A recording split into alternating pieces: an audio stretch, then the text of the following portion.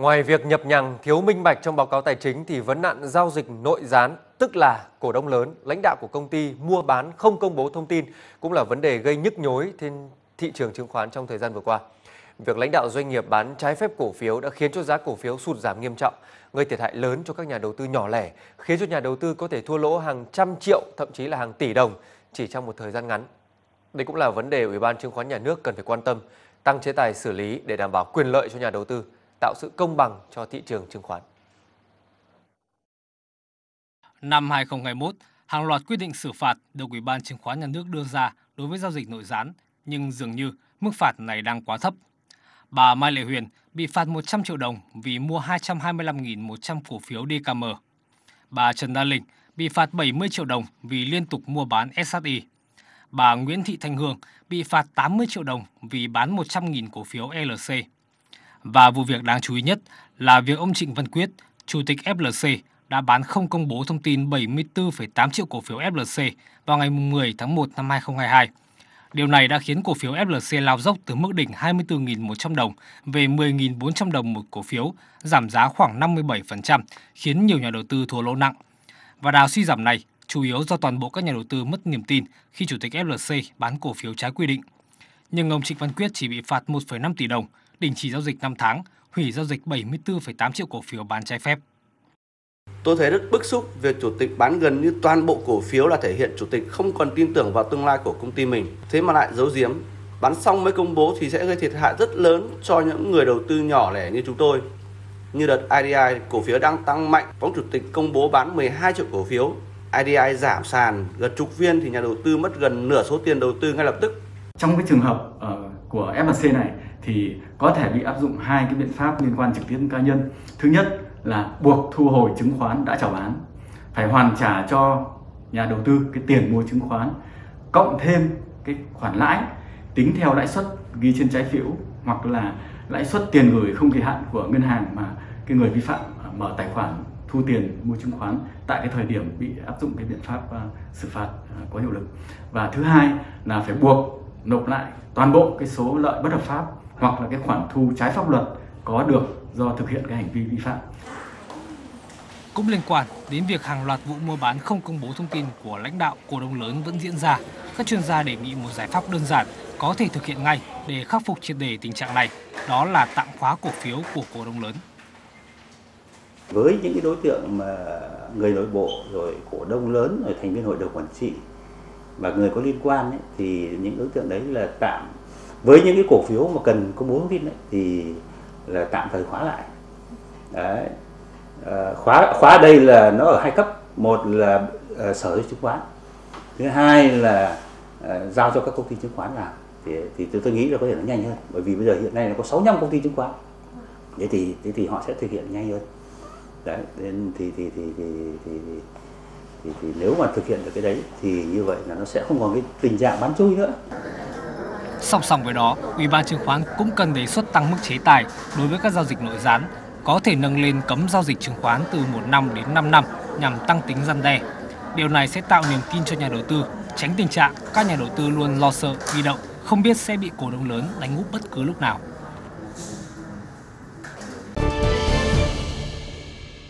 Hưởng của mưa rác kéo dài, nền nhiệt giảm sâu xuống dưới 0 độ C đã gây ảnh hưởng không nhỏ tới sản xuất nông nghiệp và chăn nuôi của người dân các tỉnh miền núi, ghi nhận tại tỉnh Cao Bằng.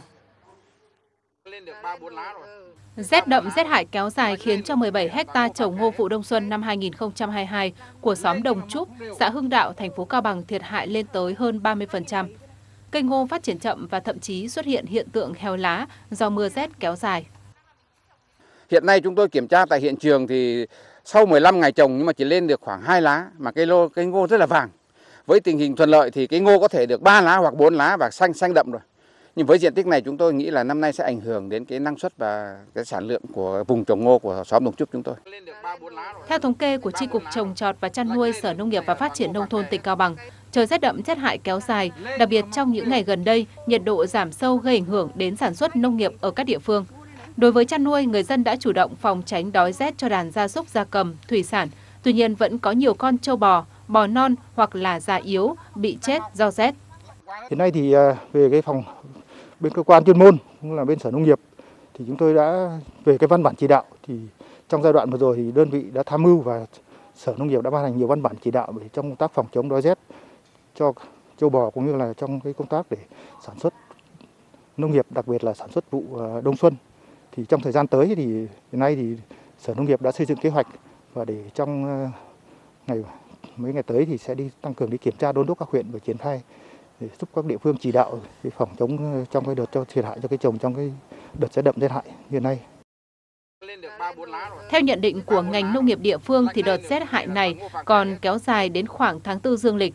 Sở Nông nghiệp và Phát triển Nông thôn tỉnh Cao Bằng đã tiến hành kiểm tra, nắm tình hình, ban hành văn bản chỉ đạo về công tác phòng chống rét, đề nghị các địa phương, cơ sở chủ động theo dõi diễn biến của thời tiết, tăng cường công tác kiểm tra và tuyên truyền, hướng dẫn người dân thực hiện các biện pháp tăng cường chăm sóc cho cây trồng vật nuôi trong thời điểm hiện nay và khi thời tiết ấm trở lại, nhằm đảm bảo sản lượng, năng suất cây trồng vật nuôi. Thưa quý vị, số ca mắc tăng nhanh, một số phường tại Hà Nội đã có những quy định riêng về việc xác nhận với người dương tính SARS-CoV-2.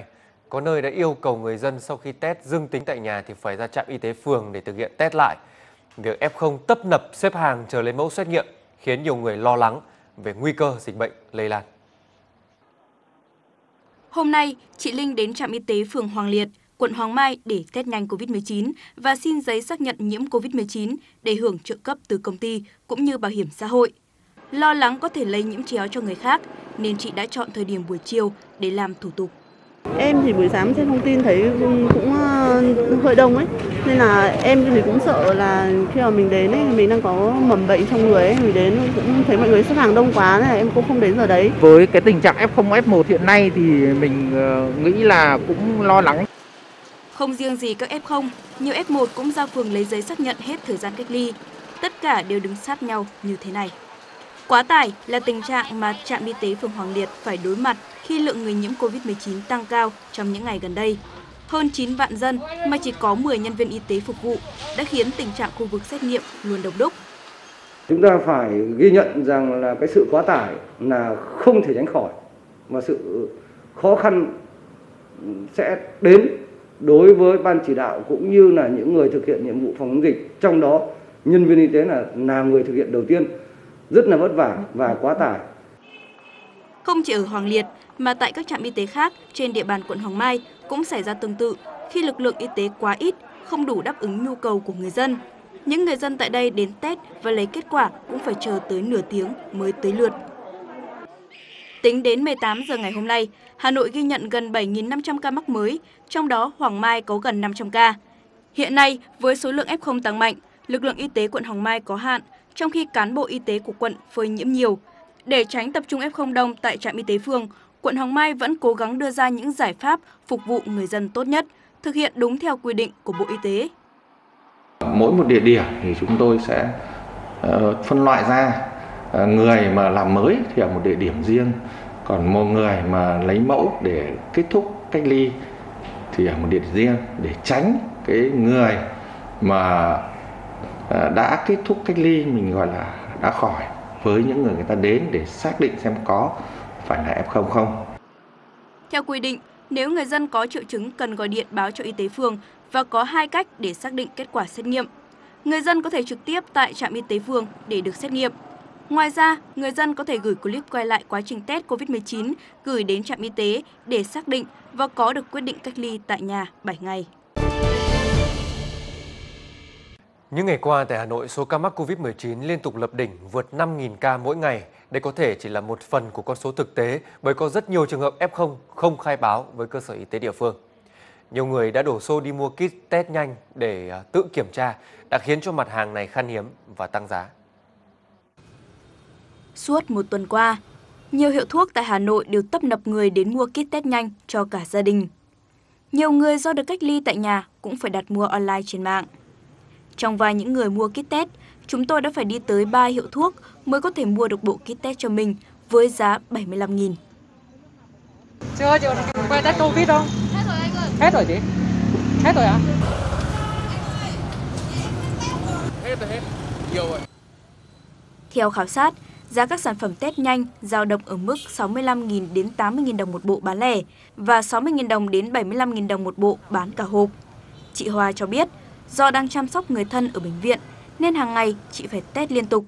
Thế nhưng mỗi ngày, mức giá kit test lại tăng khiến chị cảm thấy hoang mang.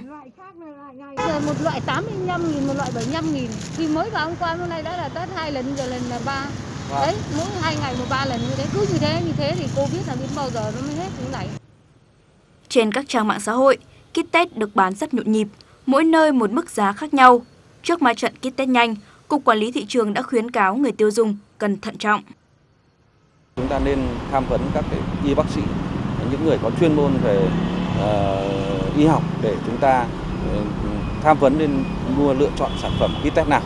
Cái thứ, thứ hai đó là chúng ta nên Ờ, tìm ờ, kiếm các thông tin mà liên quan đến cái sản phẩm mà chúng ta định mua ở trên mạng cũng như trên uh, các cái nhóm mua rồi uh, thông tin qua bạn bè hoặc là các công thông tin khác chúng ta nhớ mua những sản phẩm đó ở các cái cửa hàng các hệ thống cửa hàng mà uy tín đảm bảo chất lượng. Cục Quản lý Thị trường cũng cho biết sẽ tập trung thanh tra, kiểm soát, giám sát, phát hiện và xử lý kịp thời đối với các tổ chức cá nhân có hành vi lợi dụng tình hình dịch bệnh COVID-19 để đầu cơ, tăng giá.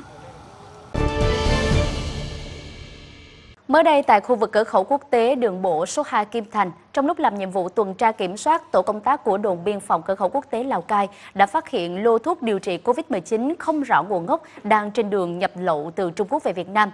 Tại thời điểm kiểm tra, lực lượng biên phòng đã phát hiện trong cốp xe ô tô Mazda biển kiểm soát 21A 13021 có một thùng cát tông bên trong chứa 400 hộp thuốc tân dược dạng viên nghi là thuốc điều trị COVID-19, vỏ có in chữ nước ngoài. Hai đối tượng đi trên xe không xuất trình được giấy tờ chứng minh nguồn gốc hàng hóa. Ngay sau đó, tổ công tác đã đưa phương tiện, tăng vật và người về đồn biên phòng cửa khẩu quốc tế Lào Cai để xác minh làm rõ. Các đối tượng khai nhận đã mua gom số lượng thuốc trên nghi là thuốc điều trị COVID-19 không rõ nguồn gốc xuất xứ, sau đó mang ra thị trường tiêu thụ.